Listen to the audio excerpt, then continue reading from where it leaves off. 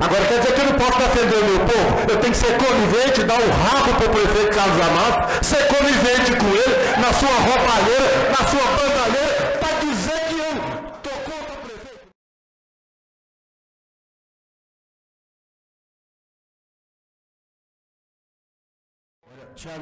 Tiago André. Presidente, diferente do vereador Lúcio, que fala que é experiente e às vezes trata às vezes, às vezes os vereadores com desrespeito, porque ele se acha superior. Eu queria dizer para você, vereador, que questão de ordem, questão de ordem, a gente usa pela ordem.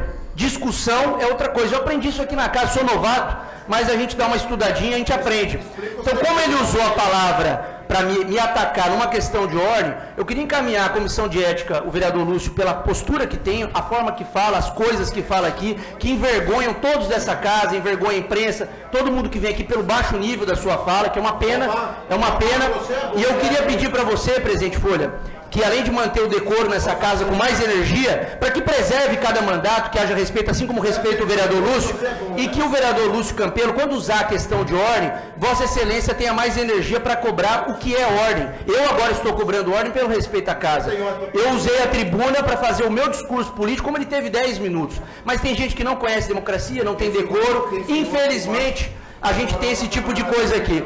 E sobre o que ele falou, no pequeno expediente, no horário adequado, eu vou usar a minha fala para dar um exemplo para ele de vereador antigo que não aprende, como faz na forma correta, como se usa o regimento da casa. Obrigado, presidente. Eu queria que Vossa Excelência formulasse, fizesse formalmente o Agora, eu vou, eu vou conceder. Calma, calma, calma aí, calma, eu vou conceder a Vossa Excelência. Eu queria que o vereador Tiago Andrini encaminhasse a comissão indireta formalmente o pedido que Vossa Excelência fez aqui verbalmente. Vereador Luiz Campeiro. Questão de ordem, senhor presidente. Senhor presidente, para ser educado, defender o povo tem que ser bruto, tem que ter coragem, saco roxo. Uhum. Tá? Esse negócio de estar tá se envolvendo com macho. Eu vou. Vereador, eu quero que você use o, o, o, as comunicações, tá bom? Vereador Milton Neres. Senhor presidente.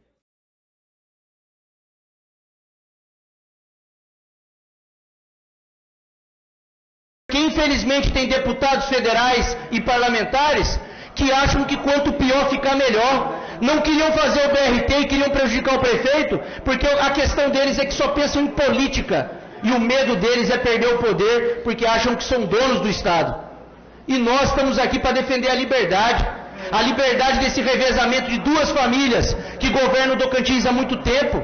A liberdade desse povo de ter uma saúde digna, como nós estamos dando em Palmas a liberdade desse povo, como aqui em Palmas temos a melhor educação do Brasil e o Estado tem uma das piores do Brasil. As alternativas energéticas que nós estamos fazendo com a energia solar, o nosso saneamento básico, que hoje é o primeiro entre as capitais do Brasil, nós damos o exemplo. E o que, e o que aflige e o que faz com que o desespero tome conta das falas dessa tribuna para atacar de qualquer forma o prefeito Amasta, porque não é a primeira vez que atacam não, vereador Moisemar. Antes o problema dele é que ele falava enrolado. O problema dele era ser colombiano. Outra hora o problema dele é que ele era empresário, era dono de shopping. O que, que ele queria fazer com a cidade? Cada hora tem um problema para dizer que esse Estado tem dono. Agora estão tentando questionar um governo de sucesso como o nosso, que o Brasil inteiro reconhece.